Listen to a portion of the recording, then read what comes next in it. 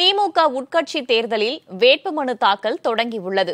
கூடுதல் விவரங்களை வழங்குவதற்காக செய்தியாளர் ரமேஷ் இணைந்திருக்கிறார். அவரிடம் கேட்கலாம். ரமேஷ் எந்தெந்த பதவிகளுக்கு இந்த தேர்தல் நடைபெறுகிறது?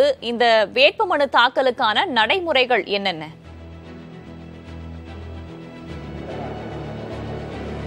திமுகவுடைய உட்கட்சி தேர்தல் இறுதி கட்டத்தை எட்டியிருக்கிறது. தற்போது நேரடியாக அந்த காட்சி பார்க்கலாம்.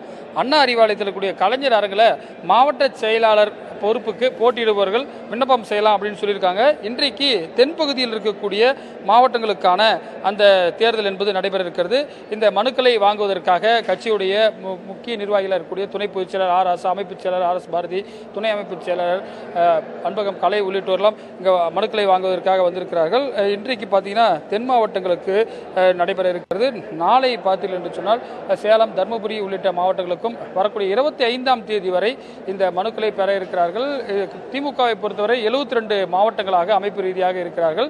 அந்த 72 ரெண்டு மாவட்டங்களிலும் தற்பொழுது இந்த மாவட்ட செயலர் தற்போது ஆர் எஸ் பாரதி அமைச்சர் கேட்கலாம். சார் இந்த வேட்புமனுக்கெல்லாம் வாங்கியிருக்கீங்க. எப்பொழுது தேர்தல் நடைபெற வாய்ப்பு நாளைக்கு நாளைக்கு நாளைக்கு முடிச்சுட்டு வரும்? இன்னைக்கு பத்தொம்போது மாவட்டம். நாளைக்கு ஒரு பத்து இருபத்தொன்று அதுக்கடுத்து பதினாறு பதினாறு. நீங்க பார்க்க தானே போறீங்க? சார், இப்போ வந்து அடுத்ததா பொதுக்குழு எப்போ சார் நம்ம கூட்ட போறோம்? தலைவர் சொல்லுவார் நாளைக்கு நாளைக்கு மாவட்ட செயலாளர் தேர்தல் என்பது நடைபெற்று முடிந்த பிறகு பொதுக்குழு கூடி தலைவர் பொதுச் செயலாளர் பொருளாளர் உள்ளிட்ட பணியிடங்களுக்கான தேர்தல் என்பதும் நடைபெற இருக்கிறது. இன்றைக்கு பார்த்தீங்கன்னா தூத்துக்குடி மாவட்டத்தில் அமைச்சர் கீதா ஜீவன் கிழக்கு தூத்துக்குடி கிழக்கு மாவட்டத்திற்கும் அதே போல அனிதா ராதாகிருஷ்ணன் தூத்துக்குடியில் மற்றொரு மாவட்டத்திற்கும் மனு தாக்கல் செய்திருக்கிறார். அதே போல கன்னியாகுமரி மாவட்டம் ஏன்னா பல்வேறு மாவட்டங்களில் சில பேர் அமைச்சராக இருக்கிறார்கள். சில பேர் வந்து புதிதாக மாவட்ட செயலாக வர வேண்டும் என்று இருக்கிறார்கள். இது போன்று மதுரை வரை மதுரையில் ஏற்கனவே நான்கு மாவட்டங்களாக இருந்தது. தற்பொழுது மூன்று மாவட்டங்களாக குறைத்திருக்கிறார்கள். அதையெல்லாம் வந்து தற்பொழுது மாற்றங்கள் செய்யப்பட்டு தற்பொழுது அந்த மாவட்ட செயலாளர் தேர்தல் இந்த மாவட்டத்தில் பார்த்தீங்கன்னா கிட்டத்தட்ட பதினைந்து போஸ்ட் இருக்கு.